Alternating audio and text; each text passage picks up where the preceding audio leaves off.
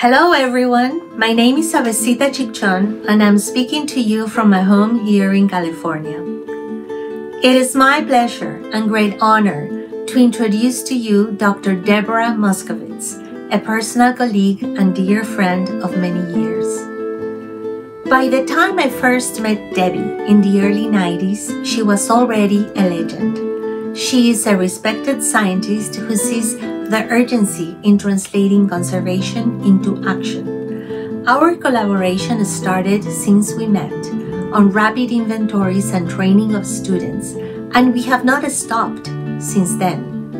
This collaboration has been primarily in the Amazon region, but it has also taken us to study other key geographies beyond it. Uh, if you think of the most remote places in the Andes, Amazon, you see a few islands of people in an ocean of green. In a big metropolis like the Chicago region, you actually see islands of nature in an ocean of people. So it's two ends of this continuum. But the issues that you have to think about, um, listening to people, empowering local voices to have a say in their environments, health of habitat and connectivity, um, just beauty of nature. It's, it's really very similar issues, it's just different scales. And it's been amazing to see how many of the same things we encounter when we're in a remote village in the upper Amazon or when you're in Kankakee. It's, it's really about connecting with people and the environment. Debbie Moskovits is an extraordinary person. She has vision, commitment, she inspires. And so many of us in the conservation world have benefited from that amazing personality, that commitment, that talent, that vision that she has. I knew of Debbie years before I came to the Field Museum. She was one of those giants in the field of Amazon conservation, and she was one of the few women who was part of this merry band of explorers of the Amazon that really set the stage and inspired my generation of environmentalists and aspirants to the field. When Debbie and I first began to work together, there were two magic words for opportunity uh, one was the Field Museum, which opened many, many doors to say you were with or at the Field Museum, and the second to say that you worked with Debbie Moskovits. You would mention your name and people would kind of look and you would say you're from the Field Museum. Oh, and I work with Debbie Moskovits. Oh, okay. The rest of us sort of think, oh, we should learn some things and we can write a paper that people might use to do something, but Debbie has always been focused on making sure that the work we did resulted in on the ground conservation. Uh, Debbie is everything for me. Um, she is the one who had this glorious vision that really thought, what can a natural history museum do for conservation? And she thinks big, she thinks huge. And so for me and everyone on our team, I think she's given our life purpose. She has found a place where that odd collection of skills that we have are put to work for something that we're all incredibly passionate about. I mean, look alone at her impact in South America, in the Amazon and the Andes. Over 20 million acres have been protected. But she also knows that protecting that land is also working with the indigenous communities that are there. She brought in the anthropologists. She had this holistic approach. Debbie for sure is somebody who's inclusive and who wants to have a holistic perspective. And I think that's what you get when you spend time with indigenous people or campesino people in nature. You get that holistic perspective. I love nature. I just love it. I love being surrounded by nature. I adore being in the forest. I can be alone in the forest for days and my soul feels very rich with what is there. I love nature in the city. I, I love looking at native gardens, and I learn so much from different cultures. They have a different angle, they have a different perspective, and it, it just opens my appreciation of nature even more. She's a very thoughtful, quiet leader, but she is persistent. And she will continue to fight until the goal is achieved. But doing it in such respectful and kind way, but always pushing, always moving forward, always challenging everyone involved to do the best thing, to do the right thing. Just about everything is possible if you really focus on making it possible. When you think that there are things you can do to help nature be out thriving, vibrant, and to have help cultures continue to thrive. It's um, it, you, you need very little else. You just want to get up and get things done. I've never met anyone who had such a clear vision for what she thought could get done and how it could get done, and she did it. If you know Debbie, you know her walking pace, and it's about twice as fast as anyone else's.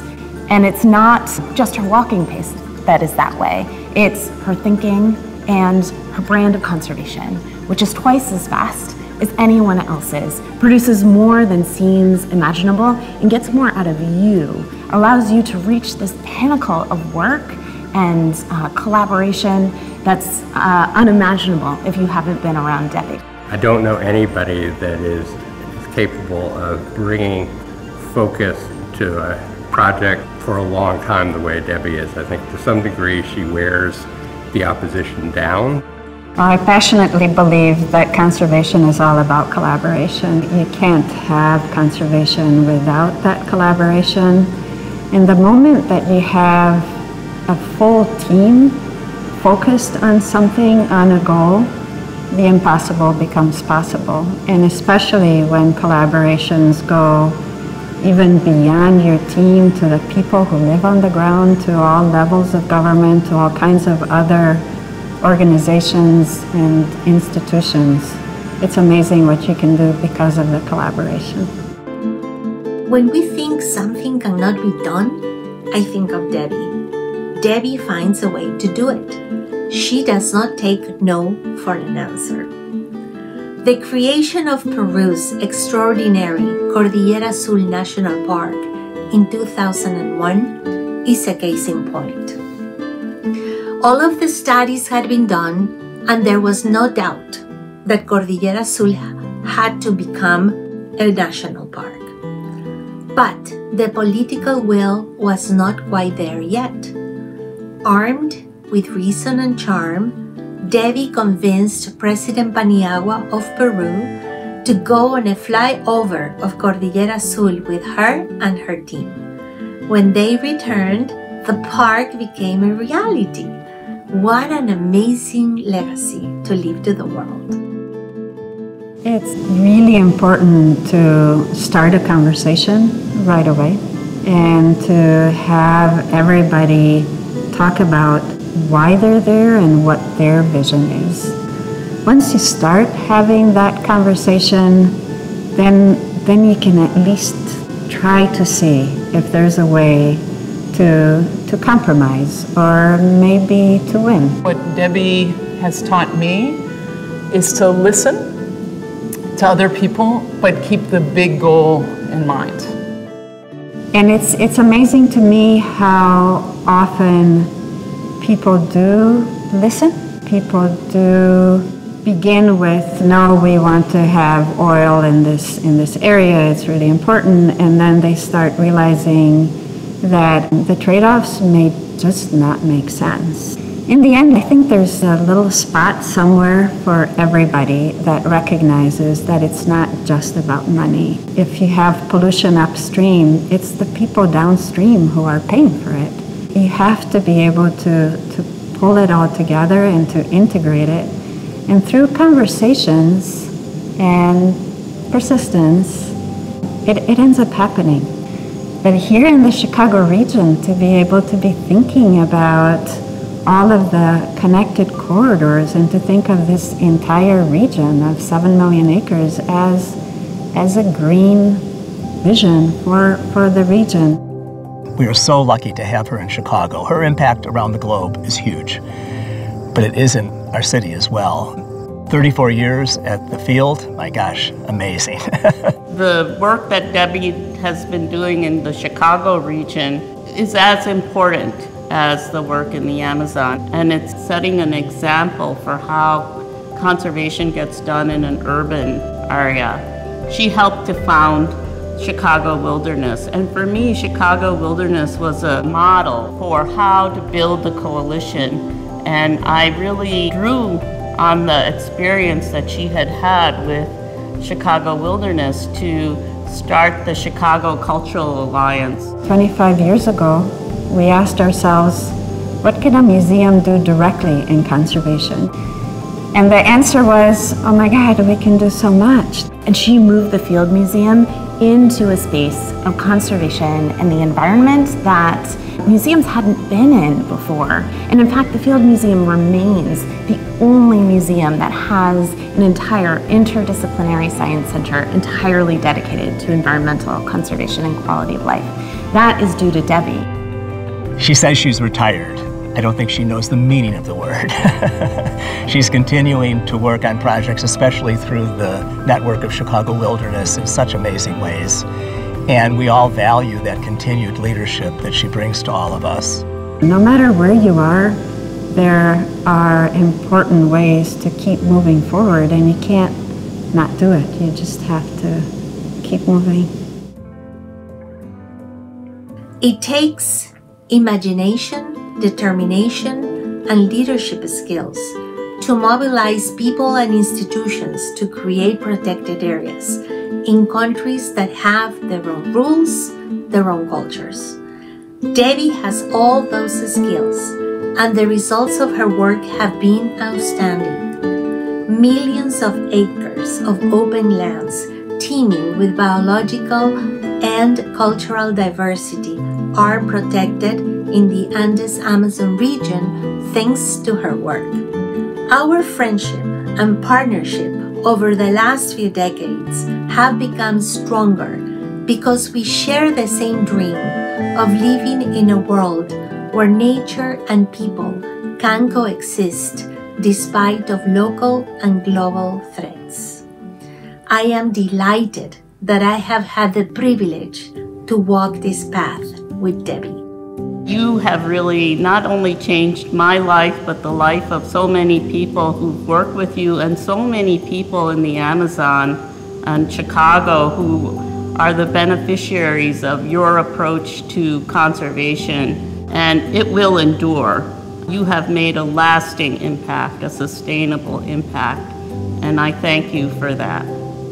Love you, Debbie. Debbie, in as far as it's possible, enjoy this. You deserve this. What you have done is unlike what anybody else would have been capable of doing, and the legacy is not just in the Amazon, it's here in this building, here at the Field Museum. It is for all natural history museums as they think about who are they going to be in the 21st century. And it's for this team of people that you have inspired, influenced. We continue to do work together. And for me personally, that work together has been the richest, most inspiring work that, that I've done. So if you can, enjoy this. Debbie, it is with love, admiration, and much respect that I offer my deepest congratulations on this award. Nobody deserves it more than you.